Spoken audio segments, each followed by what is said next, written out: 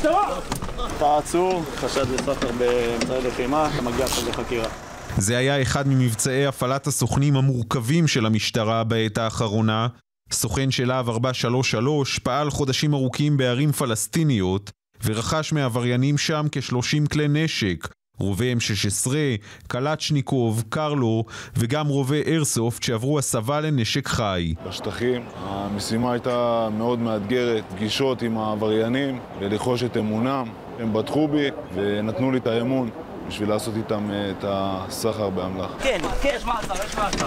כן. הבוקר במבצע מעצרים של יחידת הגדעונים של המשטרה, יחד עם הימ"מ ויחידות מיוחדות של הצבא נעצרו 16 סוחרי נשק שעסקו בייצור הרובים ובהברחתם לתוך שטחי ישראל. הנשק הזה יכול להגיע נגדנו, כנגד השוטרים. מבחינתי עשינו פה משהו גדול. בתום מבצע המעצרים של יחידת הגדעונים, שתיעוד נדיר של פעילותה מפרסמת היום המשטרה, הגיע המפכ"ל לשוחח עם החוקרים על אתגרי הנשק הלא חוקי.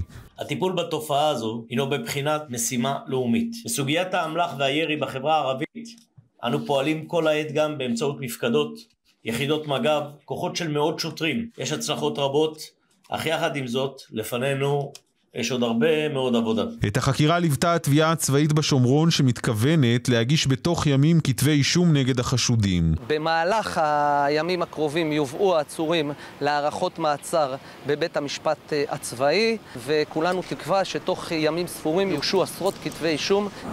כלי הנשק שנתפסו הלילה הם מעט מאלפי כלי נשק לא חוקיים בישראל, אבל במשטרה מעודדים מההצלחה של היחידה המיוחדת ומבטיחים שזהו לא המבצע האחרון.